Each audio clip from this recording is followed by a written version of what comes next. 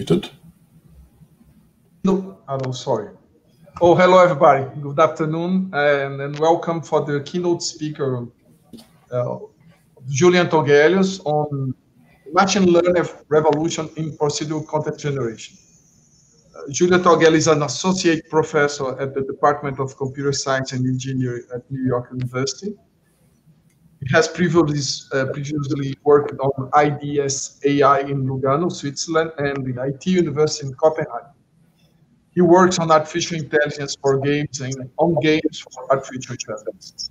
His current main research direction involves procedural content generation games, general video game playing, player modeling, and fair and relevant benchmarking for AI through game-based competitions. He is the editor-in-chief of the IEEE transaction on game, and, and that's it. And we are very pleased to have you here virtually in Brazil. Thank you. Thank you so much, Jeber. Um, I'm very happy to be there. Um, okay. Sorry I can't be there in person, but... Next time, Phil, perhaps. So go ahead. All right. Um, um, you see my screen? Okay. Um, hey, everybody. Um, I'm Julian Togelius, and thank you very much for the uh, introduction, Jeber. Um, and I'm here to talk to you about the machine learning revolution in procedural content generation. So I represent New York University, my main employer, and modl.ai, which is a game AI startup that I co-founded. So I think it's customary to say a few words about who I am to introduce myself to you. So I'm originally not from US or Sweden, um, or US or Brazil or something. I'm from a town called Malmö in the south of Sweden. I grew up there. Um, I finished high school quite miraculously, as I was so bad at mathematics um, and uh, almost failed out of it. So I decided that I didn't want didn't want anything to do with engineering. I studied philosophy and psychology to understand the mind, but gradually I sort of edged closer to computer science so I can do artificial intelligence research because I realized that to understand the mind, I needed to build minds. So when I started my PhD in Essex in the UK, I um, realized that I needed to, um, uh, uh, or my plan was to use evolutionary computation to evolve neural networks to control robots. But robots, I discovered quickly, were really, really slow um, and they had lots of problems. Batteries went flat, tires went flat, they needed to be repaired, and so on. So I discovered that I could do the same research much faster using video games. And while I was at it, I also discovered that I that you can use games to improve artificial intelligence in many ways, but you can also use artificial intelligence to improve games. So I got engaged in um, finding new uses for AI to improve games, such as modeling players, um, uh, player experience, and um, replicating player styles, and generating game content. So I'm still motivated by what I want, to, uh, understanding the mind and so on, but I'm also motivated by making games better. I worked in a couple of different places in different countries, and now I'm here in New York which is usually a, great place to be. One of the big things I work on is procedural content generation in games. So procedural content generation is where you generate some of the game content um, uh, um, automatically, either as the game is being developed or as the game is being played. And procedural content generation has been around for a very long time in some kinds of games, even since the early 80s back in 1980 when um, Toy and Wichman at the University of California, Santa Cruz wanted to buy, um, or they wanted to play Dungeons and Dragons on their computer, but they didn't have enough space on their hard drive to um, to sort of um, encode Dungeons and Dragons adventure. Um, and they didn't want they they wanted to play something that they hadn't done before, so they um, created Rogue, which includes its own generator of dungeons. So every time you play it, you have new dungeons. Also behind here, you can see um, in the, the screenshot, ironically called front, you have Elite, which is a um, um, a game from the early mid 80s, which is a space flight sort of um, uh, simulator where you where you fly around and you have thousands of planets available, um, and each planet has space stations, spaceships, and all kinds of things. But all this fits in memory on a tiny computer of the time, like 64 kilobytes of memory, which is because every time you come to a new star system, the whole star system is generated for you. Um, and if you think that we've gotten past these memory um, problems, now here at the bottom, um, at the bottom left of the screen, you can see a screenshot from No Man's Sky, which is a game which is extremely impressive. It's still in development, and you are traveling a galaxy which is literally too big for any human to any ever explore in a lifetime. There are millions and millions of planets, or billions maybe, I don't know. And there are many other games that use some kind of I mean, the key to this game working at all is that everything is generated. We also have Spelunky, you see here before behind me, which is like a very popular sort of indie platformer. We have the games in the Civilization series, where the core idea is that every time you play them, um, you have a new world to explore. There's so many games where procedural content generation is used in some way. It is becoming, even in very mainstream titles, procedural content generation is usually used to create subquests, to create vegetation, to create like small features of, of the terrain and so on. Um, modern game development would be very hard without procedural content generation.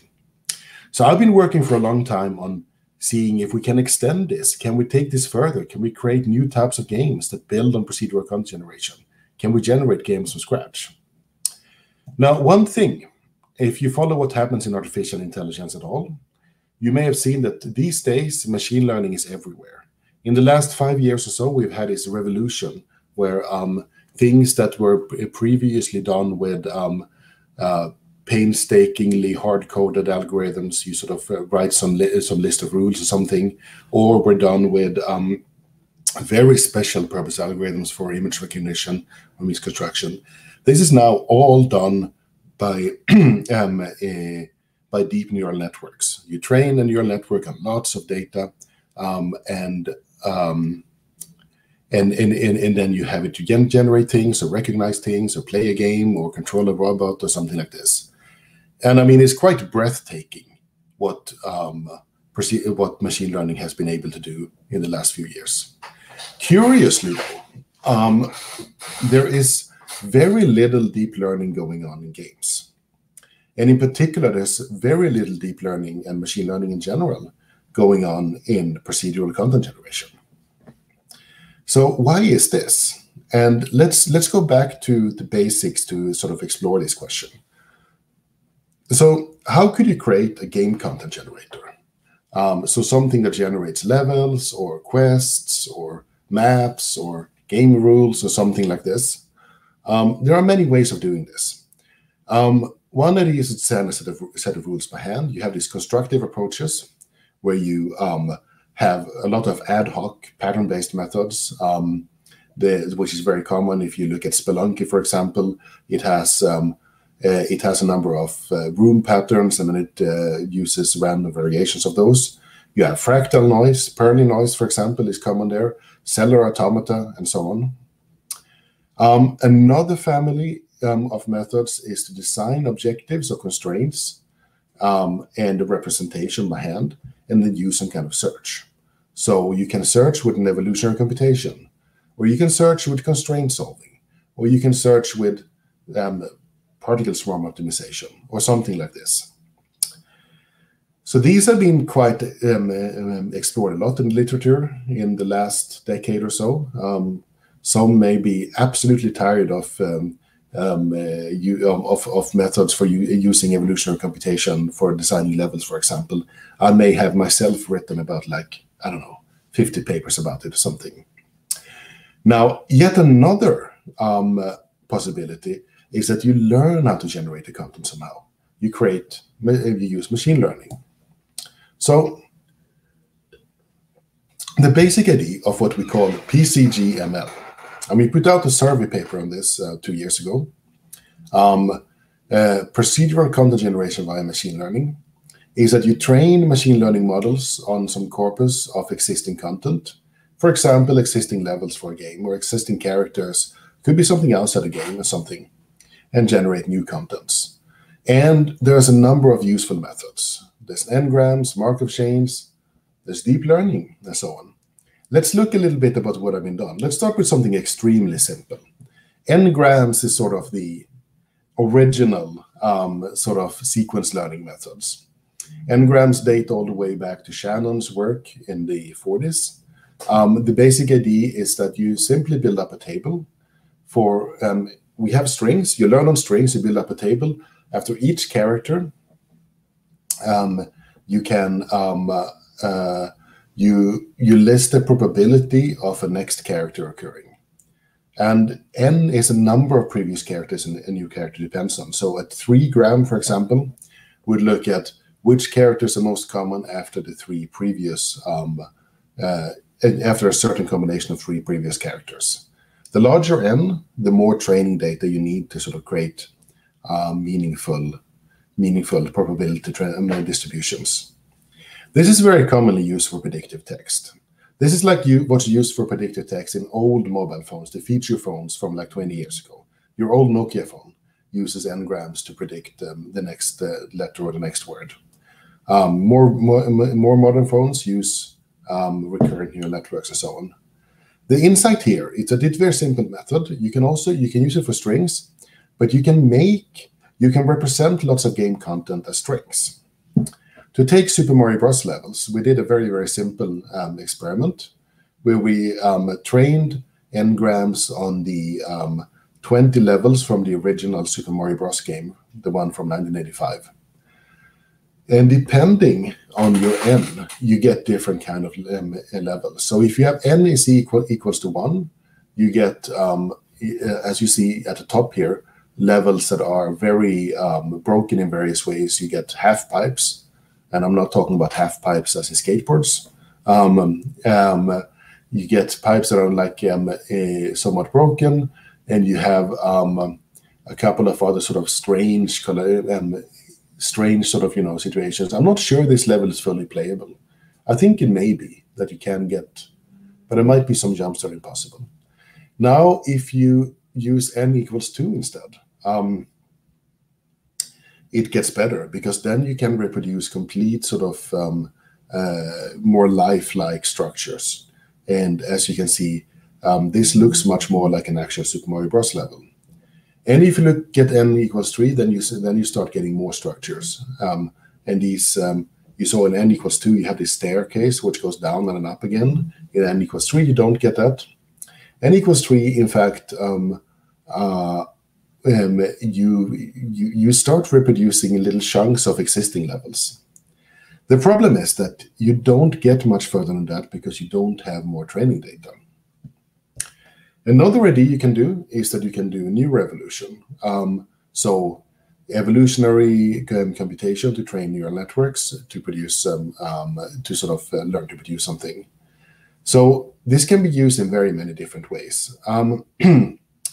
One analogy here is that um, um, Amy Hoover produced a, um, a, system where it predicted different uh, levels of or different instruments in a song from the other instruments. So, for example, from the drums and the bass line, it could predict the guitar solo, or from the guitar solo and the saxophones, it could predict the bass line, or something like this.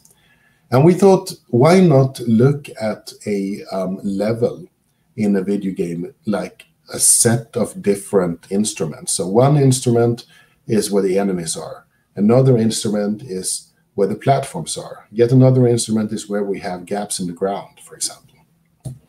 And then you can input a sequence of previous um, um, uh, of, of, of previous values for each instrument and output the new instrument. So this is creating bricks on existing inputs. And this worked not so well. Um, it turns out that almost certainly the lack of training data um, um, was hampering this effort significantly. Um, now, continuing on this idea of like looking at different parts of content in um, or, or, different aspects of game content as separate voices, separate instruments, Um, you can look at this in strategy game levels, for example, and you can see you have a level, and based on where you have, um, for example, bases and where you have enemy spawn points, maybe you can predict where there are resources. The idea here is that this could be very, very useful in an interactive design tool where you actually design um, where you design uh, um, uh, some parts of a strategy game level and the other and and the tool suggests where to put the other part. so say that you you draw some uh, mountains and it says well here is a good spawn point for example and we did this for starcraft and um, um, using deep convolutional neural networks with relative success with, there was some issue with overfitting and the issue of finding um, uh, so so the what you see here we tried a number of different um, uh, aspects here. What we see here is we feed in the height map and it predicts where there would be resources. It gives you nice sort of um, it gives you nice sort of levers. So you can basically say that if you want more resources where would they end, up? If, you want fewer resources where would they be? The problem is that there seems to be some some amounts of overfitting in this. Another sort of very powerful, I mean, the last decade or so of deep learning has come up with so many really powerful methods. Another really powerful method, which is a sequence learning um, method, is um, long short-term memory, which is a recurrent neural network, which is very often used for sequence recognition and prediction. So if you look at um, the phones you have these days, um, like modern um, mobile phones, um, this is the kind of uh, machine learning model that's used for text prediction. That's why it can eerily suggest whole lines of um, emails you're about to write. Um, so in particular, Gmail's automatic reply feature uses long short-term memory. And could you use this to create game levels? Yes, you can. Um, so here's, here is Aaron Summerville's work. Um, I should have a reference. Aaron, Aaron Summerville, um, back when he was at University of California, Santa Cruz, um, and Mike and Mateas, they did this work where they predicted Super Mario Bros. levels. So they inputted not only levels, but also the path that agents have taken through the levels. Um, and the paths are very important because it teaches the machine learning model how to make paths that are unbroken. So, in other words, how to make player um, uh, levels that are playable. Um, and this is an example output um, with a um, example player path, which is clearly something you can follow. So clearly Mario can play this level. Another really fun thing that um, Aaron Summerville and um, Mike Mateas did, Adam Summerville, sorry, um, uh, was um, using LSTMs to generate magic cards. So Magic the Gathering is a collectible card game which has um, a um, large amount of um, cards. And when I say large amount, at least thousands, maybe tens of thousands. I'm not really sure. There's a lot of it. Each one of them has uh, different stats. It has a cost, it has attack, defense, and it has um, classes um, um, that they, the different cards belong to. And um, it is, a, and they have descriptive text which is in English, which describes what the card does, the very special effects it has. Mm. So here, this um, long short-term memory um, module was um, uh, was sort of asked to um, produce um, a new card, which would be a legendary fungus shaman, which is I'm still I'm, I'm trying to imagine what a fungus shaman would be like.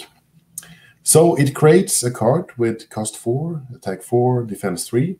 It's a legendary creature, a fungus shaman. And it says that whenever a creature enters the battlefield under your control, you may put a 2 2 green wolf creature token with haste onto the battlefield. And your first reflection seeing this is like, wow, this looks like a completely, um, completely acceptable Magic the Gathering card. Um, I mean, it has reasonable values. Um, the text is complete and proper English, um, complete, very understandable. so um, maybe we should play this. But if you know something about the game, then you realize that this card is horribly broken and will immediately destroy your game. Why? Because what it says is that whenever a creature enters the battlefield under your control, you may put a 2-2 green wolf creature token with haste onto the battlefield. This means that whenever you put a creature comes under control, you can put another creature there. So you can put another creature. So you can put another creature. So you can in the in the instance you get this card, you can get an infinite amount of green wolves, um, which is handy. Even worse, all these green wolves have haste, so you can create a million of them and attack with them immediately and win the game no matter what. So this is um, an example of a problem that um, basically all machine learning models we know of have at the moment, which is that um, they um, are not, uh, they um, don't model the properties of game content that make it playable, that make it not break the game. They very often do some kind of surface level aesthetic modeling and it models some parts of um, uh, Magic the Gathering cards very well here. It creates um, very nice sort of um, uh, English text, for example, but um, it doesn't take into account and you can't reason about that this card is in fact game breaking. Now let's look at another very popular, um, very popular method in modern machine learning is generative adversarial networks. This is something that was only invented back in 2014. The idea of a generative adversarial network is that you have two networks and you train them intermittently. You have a generator and a discriminator. The discriminator is trying to distinguish real artifacts from fake generated ones.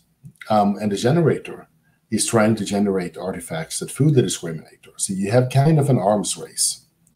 Um, this is essentially the same idea as competitive coevolution, which has been used in the evolutionary computation um, community for a long time. But here um, it works with gradients instead. Um, so um, explicit gradients and gradient descent. Um, what we what we see here is that this has been extremely popular for generating, for example, images of faces, bedrooms, and all kinds of things. Um, can we use that for game content? Yes, we can. Here, here's an overview of what it is. We have a training set, and we have a generator. Generator generates fake images. Discriminator is trying to um, tell the real ones um, in the training set from the fake ones, and it improves to do that. Whereas the um, generator is trying to um, fool the discriminator. The problem with this is that all these various methods, they're good at producing faces and cars and bedrooms and so on, but it's always slightly off. So, for example, you create parts with um, one wheel is bigger than the other, or like a face that looks great, but there's something really strange about the background and off perspective and so on. Same thing with language models, so LSTMs and transformers. You've seen GPT-3, for example. They produce this surface level text, which sounds great, but it's not coherent. There's no meaning to it. And the problem with game content is that this may not be enough for game content. So if you look at a game level, um, and this argument um, applies to many types of game content, like quests and characters and stuff. It is like an image because it, it has these sort of visual aesthetic qualities. It needs to be nice to look at. It needs to have a you know color and geometry balanced. to be sort of readable. You can look at it with your eye and like, yeah, this makes sense. But it is also like program code. You need to compile and run it in a sense. So basically, if a game level it can look as long as as nice as you want but if you can't win it if you can't sort of um, um, complete the level it's worthless it's like worth it's worse than worthless basically. It's like it's like malicious misleading. Um, in a sense it sort of crashes the game. Um, and also the same thing if, if it's possible to win it without doing any of the things you're supposed to do that's also really bad. So in a sense, it's it's more like program code and levels. It's, it has very different, um, very different sort of um, constraints, but it's also like an ecology. So things need to be very precisely tuned for this um, game level to be interesting and for to, care. So basically, and multiplayer maps is another example in in FPS games. Is very this is all this is very much true. And this is not what our current machine um, learning methods are um, really um, uh, set up to model. They don't know how to model this. So one idea for how to overcome this is to combine learned models with search. So you train a model of um, levels um, or um, other content using some supervised or self-supervised learning. Um, for example, again, on an LSTM or convolutional net or whatever. Um, and this model takes some kind of input and vector of real number, and then you search the input space for good content. So um, the objective function uses this model that you train to transform from input to output. In evolutionary computation terms, it is a genotype to phenotype mapping. Um, or in search-based procedural content generation terms, it's a representation. The idea is that you first learn a model and then you search. So here's a great example of this. It's a paper that um, came out two years ago. It actually builds on a previous paper of mine, by, of mine but uh, was done by this uh, set of authors, um, led by Vanessa Volz, who's currently working for us at modl.ai. Um, it um, it's about evolving Mario levels in the latent space of a GAN. So you train a GAN on a Mario level, so it can produce level segments. You search the latent space of the GAN for level segments with particular properties. Um, and the idea here is that um, you um, uh, or to, to, to sort of um, visualize it. You have the real levels as inputs, and these um, you take samples of those, and you have a generator producing generated levels, and these are fed into discriminator, which is um, trained to discriminate among uh, between them. And then you have the generator. Oh well, well this is the GAN training process, phase one. So after you've done this, this is a regular GAN. You just basically intermittently train the generator and discriminator, generator, discriminator, generator, discriminator. And you train this until you're done and it generates lots of Super Mario Bros. scenes that look pretty decent, you know, but you have no guarantees. And in the next, um, um, you see here that when you train the generator, it just takes noise as an input. But in the next phase, we take the we keep the generator um, and just freeze it. We don't do anything with it. Um, we input instead of noise, we input a latent vector. So we you can search the space where there used to be noise um, and this is trained using an evolutionary algorithm, in this case, a covariance matrix adaptation evolution strategy, in order to find levels with good properties. So first you learn, then you search. This is um, um, an overview of this, of the architecture, of, uh, um, and what happens if you do randomly sample levels. They look okay. If you mutate it a little bit in input space, it mutates the output a little bit, which is good. And then you can um, optimize them. You can, for example, maximize number of jumps. You can minimize jumps, create unplayable levels, create ones with broken tiles, etc. Um, so um, it is um, um you can basically search for um, together with an agent that to test the level. You can search for particular features. And here's, for example, one level that is search that, that it's produced to have increasing difficulty. It's very easy in the beginning and it gets worse and worse. And then in the end, well, you have lots of enemies and stuff. So going back to what, what PCGML in general. So this this nice combining search with um, um, uh, with learning is a very important um, direction to look at. Now, if you look at the main problems, we have output which is pretty, but it's not correct in many cases it's not provably playable. It's not balanced, for example. But as we just saw, you can combine machine learning with search, and that helps a lot. So SBPCG starts for stands for search-based PCG. Another big problem is the amount of training data, and yet another one is the diversity of output. Um, what do we mean by the training data problem? Well, if you're going to create um, procedural um, level, so characters or something from a game, then you um, need to actually um, you need to have something to train on. Now, a typical game doesn't have that much content, and if it has a lot of content, you may not need a PCG. Um, it's sort of a chicken and egg problem. And if you if if you for example are creating a new game and you only create five levels by hand, this is often too little for real sort of you know machine learning to to learn something from And there's often like, even if you have the content, like extracting it's hard. So one grand challenge that people have started addressing, but not very much, is to learn reusable representations from the content in multiple games and fine tune a new game. One thing that we'd love to be able to do is learn um, uh, uh, from like um, say 100 different platform games um, and then try to um, uh, and try to sort of um, produce levels for a new game by just telling it what's the difference between this new game and the one we trained on. Um, we don't have that yet. Some people, Anurag Sarkar in uh, and Seth Cooper at Northeastern in Boston, um, and um, uh, Sam Snodgrass, who works at modl.ai with us in Copenhagen, um, have been making some progress towards this. One method, um, one method that we advanced recently to sort of overcome the training data problem is bootstrapping. So the idea here is that if we can test if a level is good enough using some constraints, then we can train on just a little bit level, uh, just a little bit of uh, content, and then if it produces new levels, that we test and, and we say that they're good enough, we just add them back to the training set. So we gradually expand the, the sort of what the training set covers from very little to more and more. So here is our architecture. This is like somewhat complicated um, um, for a, what we call a self-attention um, generative um, adversarial network. Um, and what it does, um, this is a paper published this year in um, IEEE Conference on Games.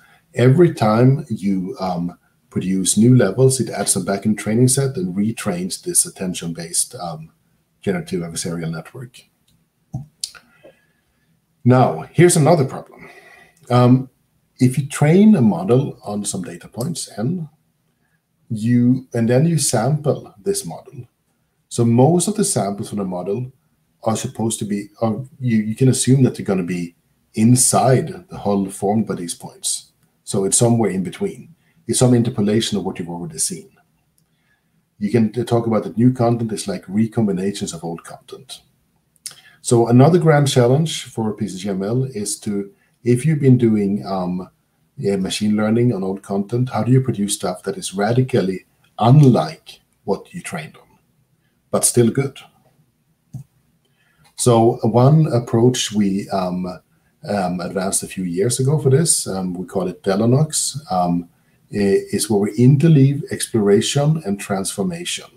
So we have novelty search, which is quality diversity, and a type of quality diversity algorithm that basically is a divergent search. It doesn't sort of optimize for a particular thing, but it goes, it tries to find new solutions with an autoencoder. So first we train on existing content. Then we search in the space of this content um, for um, things that are very different from what we trained on. And then we retrain the autoencoder on the new content, etc. Um, this is, I think, a promising um, direction to go as well. And then we have um, uh, the general idea of quality diversity, where you have a lot of different um, um, you have a lot of different sort of um, uh, you, uh, or algorithms such as MAP-Elites and novel search with local competition, where you're trying to not only optimize for a given um, objective, but you want to explore, you want to produce output that's as dissimilar as possible. Um, recently, we've seen some combinations of um, PCG ML with quality diversity, and it's uh, very promising. Um, this is a um, chart from um, um, um uh, our uh, PCGML survey paper from two years ago, where we're looking at what's the possibility space, what has been done, what has not been tried. And there's a lot of interesting new things that we have not tried. Um, and this is even before we started looking at combining search with machine learning. so procedural content generation through machine learning is like a booming sort of subfield where there's a lot of work to do currently. Um, and there is a number of like resources for training data um, available. Um, there's a lot more that um, can be done. Um, Uh, and uh, this is the point where I where I tell everybody that um, please don't hack Super Mario Maker and take all the levels that Nintendo has and make them publicly available to train on. I would totally not want that because that would be illegal. So please don't do that. anyway, um, would be kind of nifty, right? Um, uh, right. So we talked a lot about training data. In the minutes I have left until um, I get uh, booed off stage, no, until I should be done. Um, let's ask the question: What do we do if we don't have any training data? Can we use machine learning um, even in the absence of training data? So, in a new paper that was published this year at AIIDE, um, procedural content generation through machine learning, um, we cast the whole generation problem as an iterative task. So whereas evolutionary computation in search-based PCG, you see it as an optimization task. Here we see it as an iterative task. So instead of generating whole content, we um, uh, we see that there's a Markov decision process, and the task becomes taking the next action that improves the content. So the idea here is that you have um, an agent, but the agent is not something that plays the game. An agent is something that builds or changes um, the content, such as a level. And the representation is the current state of the level, and it gets rewards based on how um, much it improves the level um, in the end. And it uses standard reinforcement learning algorithms. Um, I think we used um, uh, Actor Critic, so A2C in, the, in this case. There are many different ways we can um, actually uh, represent the problem here. You can look at it in a binary way where you uh, on, on, on, like different problems here. So the binary here is a problem where it's about digging a um, creating a map which has the longest, shortest. No, it has a ma the map with the longest possible path um, in it. We have Zelda, which is a version, it's a very simplification of the overworld of Legend of Zelda. Um, you move around, you slay monsters, take the key, get to the door. You have Sokoban, which is a classic sort of box pushing puzzle. And there are different ways of transforming this to generation process or casting it as a Markov decision process. In a narrow representation, you are basically moving around um, in in scan lines across the level. You see here that um, this is like a CRT. It moves across the level, and at every point it decides should it build something else or should it should it change this tile and into what, or should it not change this tile. So it gets a very local representation. Um, and it it is rewarded for in the end producing in this case the longest possible um, longest possible path. We have the turtle representation where we're actually seeing this is more like an actual game agent. It's moving around, it sees its local environment, and it is um, can choose to sort of build or not. So it is um, um, rebuilding um, as, um, um, as we speak here and trying to create a level. And we have the wide representation where it can edit anywhere in level and uh, add or remove tiles and change them into something else. Um, to make this possible, um, one really crucial um, detail here, you can read more in the paper, in the paper, you just search with PCGRL, but um, was that we have to limit how much it can change of the in, in of the level in each episode. Otherwise, it learns not a content generator, but it learns one single content artifact. So not a level generator, but one just one level. Um, and this is, we're trying to understand this better and do more research on it. And the results are that it can pretty well create um, good and playable levels, at least as long as they're small. We see here um, the results for like all the different combinations of representation and problem. Um, we're working on this um, to sort of bring this into like um, an interactive tool um, in various ways. Right, I see I'm out of time here. Um, I will finish with this slide as I usually do. We have I have a popular science book about some of these topics, which is um, easy and nice to read. Uh, contains no math. I wrote it so that my parents would understand it. I think my mom has actually read it, and she says she likes it. I'm not sure I can trust her, but anyway. Um, and we have a more heavy-duty um, textbook, Artificial Intelligence and Games, by Jorgos Yannakakis and myself.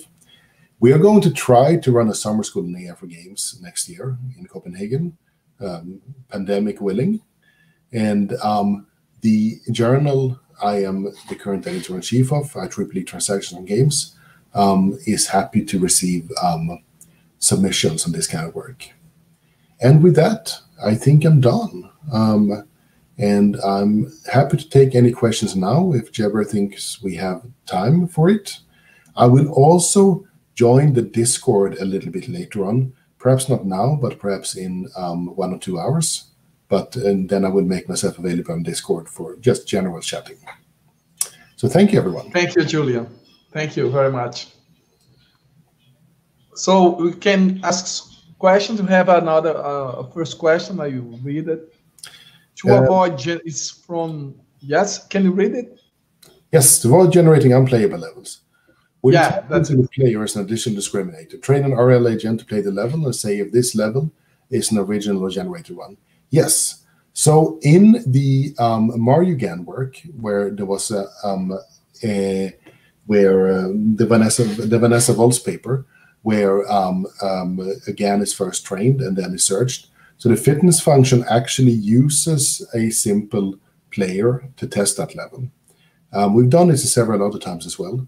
The problem with this is that um, it's slow. It's slower than um, just using some other features, but it is a very good idea. It's not an RL agent in that case. Um, it's actually a okay. So here's the real problem: training an RL agent to do this. It's extremely slow.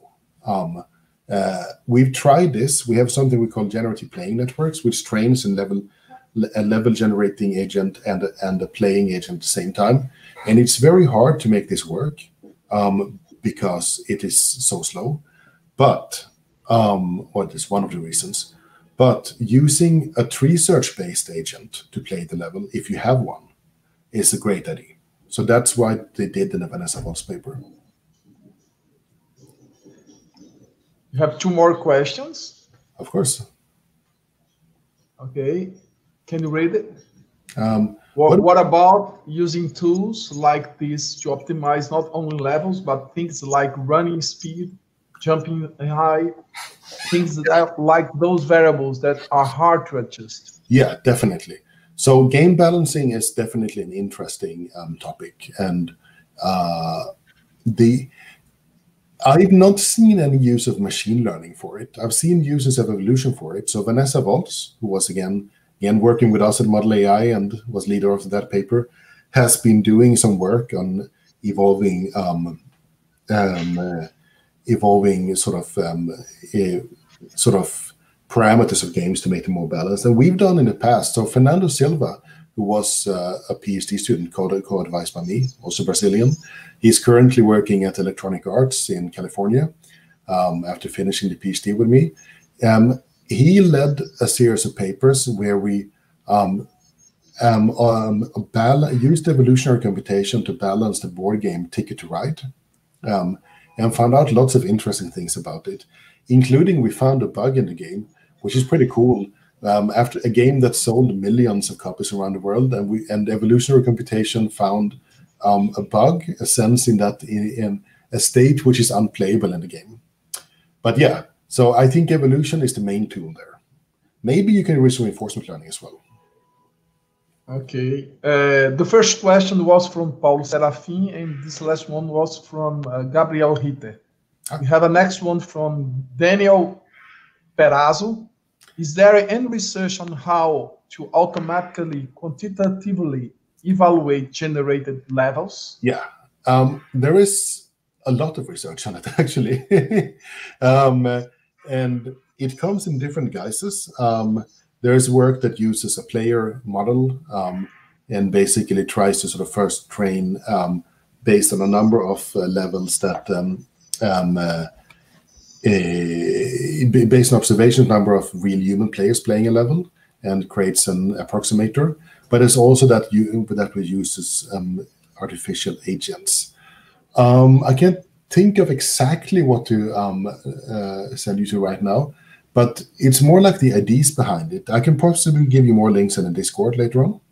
Um, the um, there is um, the idea that one way, way of um, automatically evaluate it is in terms of skill differentiation. So what do you, what's a good thing with a level? It's one that which can be beaten by a, by a good agent, but which cannot be beaten by a hard agent, by a bad agent, and which a medium skill agent would do medium performance on. Um, and we call this, um, um, um yeah, we call it skill differentiation essentially. So I have some papers I can post later on that tries to do this on various levels and games. Thank you. Have still some questions. Of course. Igor Rebouças ask, uh, what about your thoughts on PCG plus human level designers as a development process? My general thought on this is that that's the future. Um, I think that is definitely um, where where we need to go. Um, uh, the the big sort of, um, I mean, basically because uh, completely automated game design is not going to take the jobs away from human designers anytime soon.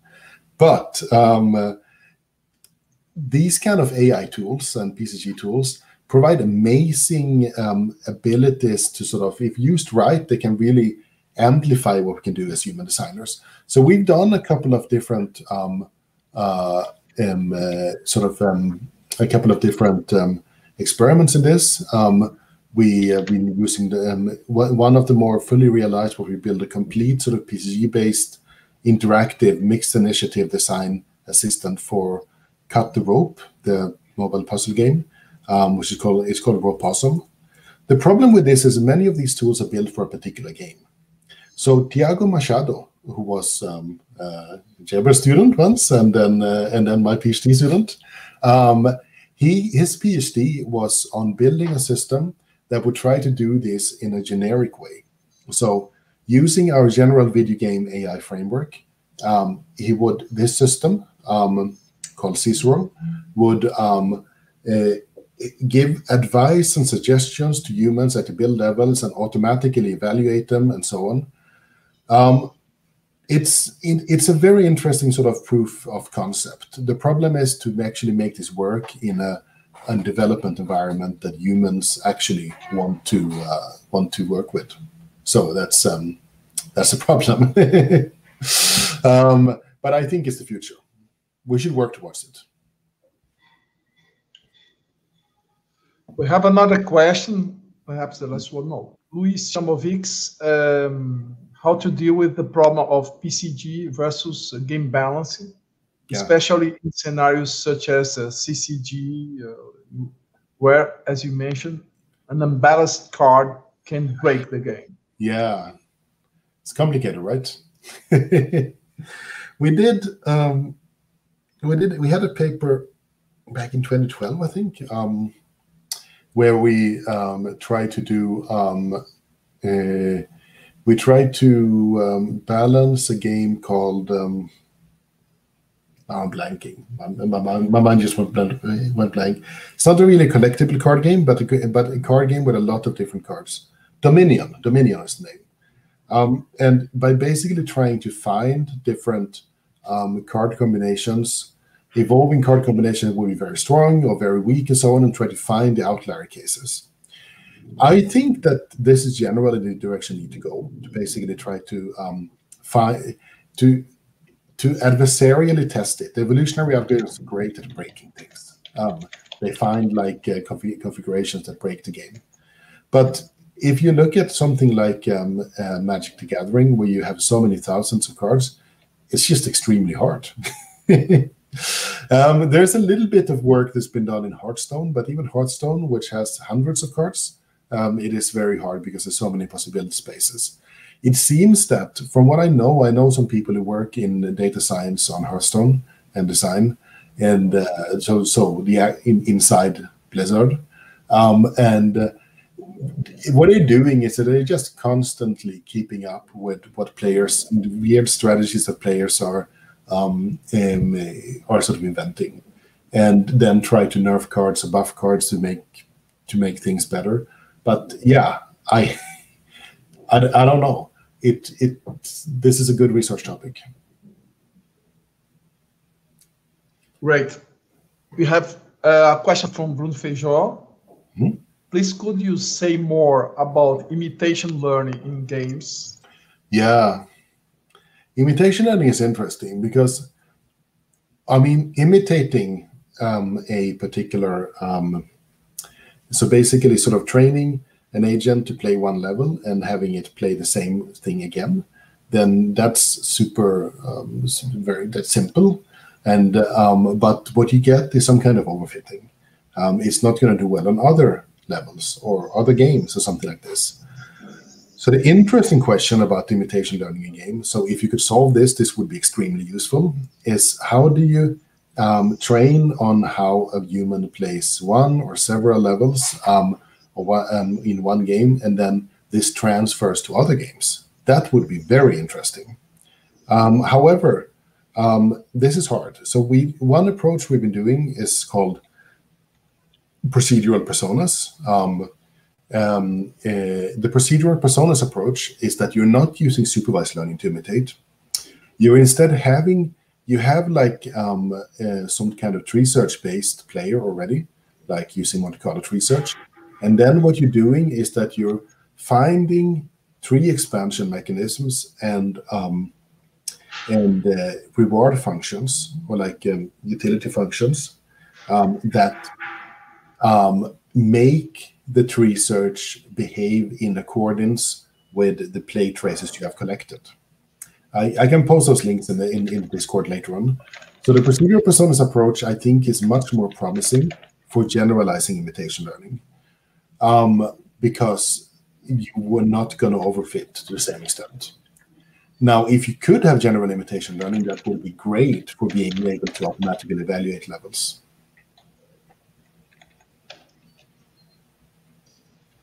Okay. Um, as you mentioned music, I will, I will ask you a question as a musician.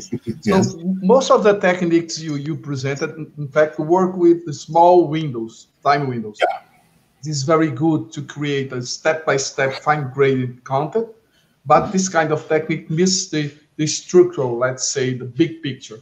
Mm-hmm. In when generating music, for example, we have some structural constraints as uh, chorus, for instance, that mm-hmm. help us to guide this local machine learning. Do you think that we could try to figure out something in the game yeah. in the same sense? I think a very interesting idea is to sort of train um, models at different levels of fidelity.